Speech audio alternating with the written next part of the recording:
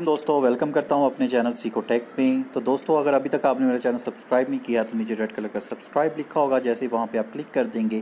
اس کے بعد اس notification bell icon آ جائے گا، یہاں پہ کلک کریں گے، تو یہاں پہ آپ نے آل کے بٹن پہ کلک کر دینا ہے، تاکہ آنے والی ہر ویڈیو کا نوٹیفیکیشن آپ تک پہنچتا رہے۔ السلام علیکم دوستو، آج کی ویڈیو میں آپ کے ساتھ ایک ایسی چیز شیئر کرنے لگا ہوں جس سے آپ کے نالج میں اضافہ ہوگا۔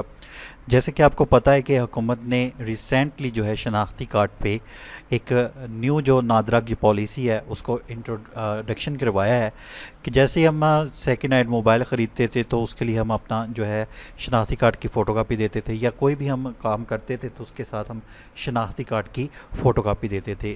اور جو ہے آج کل جو شناختی کارڈ کا غلط یوز کافی زیادہ لوگ کر رہے ہیں اور بہت زیادہ اس سے جو ہے کرائم جو ہے وہ درپیش آ رہی ہیں۔ تو اس وجہ سے حکومت نے نیو طریقہ کار جو انٹروڈیوس کروایا ہے، جو لوگوں کو اویئرنیس کرنے کا بتایا، وہ یہ ہے، آپ کے ساتھ میں شیئر کروں گا۔ نادرہ کی کیا کیا پالیسیز اور بھی چینج ہوئی ہیں بہت زیادہ، وہ بھی آپ چیک آؤٹ کر سکتے ہیں۔ میں پالیسیز کی لسٹ جو ہے وہ نیچے ڈسکرپشن میں دے دوں گا، وہاں پہ آپ چیک آؤٹ کر سکتے ہیں۔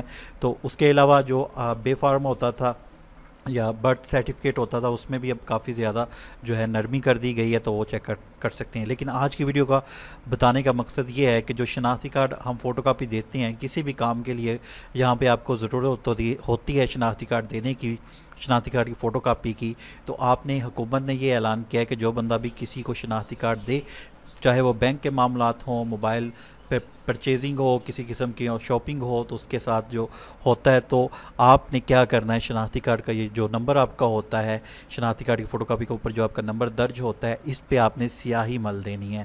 سیاہی سے مراد یہ ہے کہ پینسل سے اس کو مارکر سے پینسل سے، کسی چیز سے اس کو آپ نے اس کے اوپر جو ہے لائنز لگا دینی ہیں، اس کو اس طرح ریموو کر دینا ہے، کسی کو یہ سمجھنا ہے۔ کیونکہ شناختی کارڈ میں جسٹ آپ کا نام اور پتہ ہی ضروری ہوتا ہے۔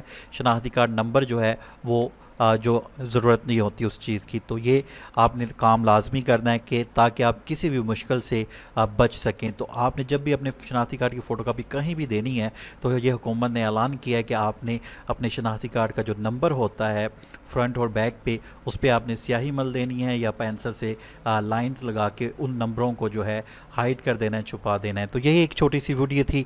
جنرل نالج میں نے آپ کے ساتھ شیئر کیا ہے۔ زیادہ سے زیادہ لوگوں سے شیئر کریں تاکہ لوگوں کو زیادہ سے زیادہ اس چیز سے جو ہے پتہ چل سکے اور زیادہ سے زیادہ لوگ اس چیز سے محفوظ رہ سکیں۔ اگر ویڈیو پسند آئی ہے تو پلیز لائک کیجیے گا۔ آپ کے لائک سے مجھے یہ ہوگا کہ نیکسٹ بھی اس طرح کی جنرل نالج کی ویڈیو آپ کے ساتھ شیئر کرتا رہوں۔ تھینکس فار واچنگ اللہ حافظ۔